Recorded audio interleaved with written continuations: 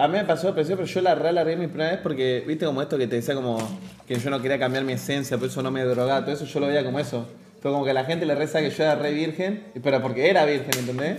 Y yo dije, fue, no, si, o sea, si cojo voy a perder esa esencia de, De virgen. de virgen que a la gente le gustaba mi stream y dije, va a pinchar mi carrera, voy a hablar a la NUS. ¿En estaba serio? re entonces, o sea, claramente tuve miles de oportunidades para tener porque ya me estaba yendo bien, todo, el- no sé, viste, esas cosas traen Obvio, oportunidades. Obvio, obvio.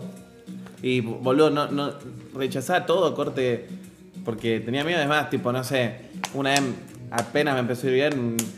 Y bueno, ah, no, no estabas, pero era una fiesta de fin de año que había hecho Kea, que nos invitaron y no sé, yo le había dado un beso a una piba, boludo, y se vio en una- en- de fondo una historia y dije, no, tipo, me había re deprimido y dije, no, hasta acá llegó mi carrera, guacho, todos se dan cuenta que no soy virgen. Pero era virgen todavía.